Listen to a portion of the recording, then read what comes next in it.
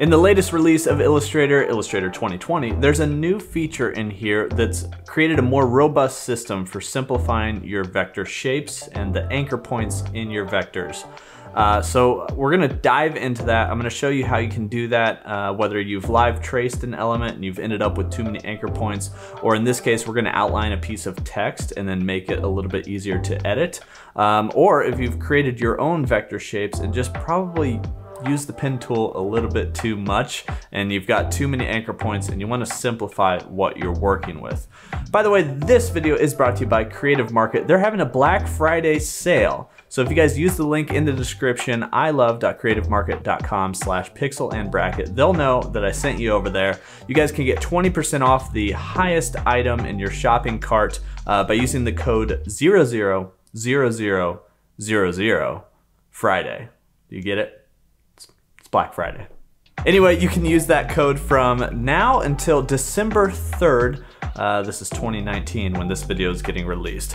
So head on over there, see if there's something awesome you guys want to pick up, or you can just get six free products by signing up uh, through the link. It's all free, and actually the font right now I just downloaded from their free goods. There's a monoline font that pairs with a script font.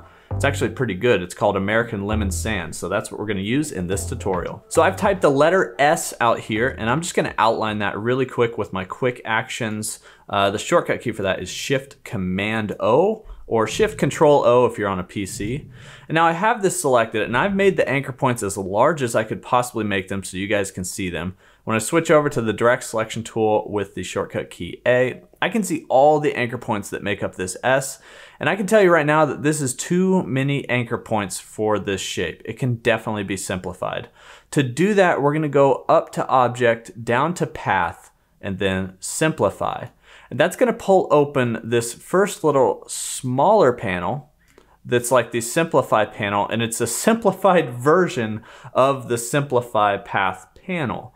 And you can really quickly just decrease the number of points in this shape to uh, the lowest is 8, and it gets a little bit wonky there. Uh, you can create 10 points or maybe 24 points would be the max there.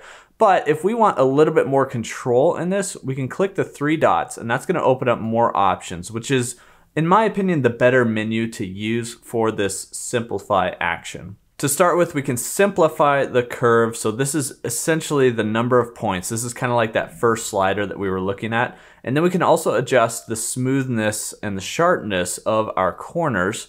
And there's also an auto simplify button. So we can click that and it's gonna kind of give you what Illustrator automatically thinks is probably the best simplification of your shape. You can show the original path as well. So you can see that it's highlighting that with the green anchor points and showing just how many anchor points were in our shape before. And that's also gonna show you where the new shape is gonna kind of overlap with the old shape and whether or not you're really kind of affecting the shape too much or getting it a little oversimplified where you're losing the original quality of your shape. So you want to kind of find a balance there with how much you simplify your shape and how much you're sort of losing from the overall uh, original shape. And of course you can check and uncheck the preview option as well. I believe it defaults to being check marked, which is nice because most of the time it doesn't in these panels.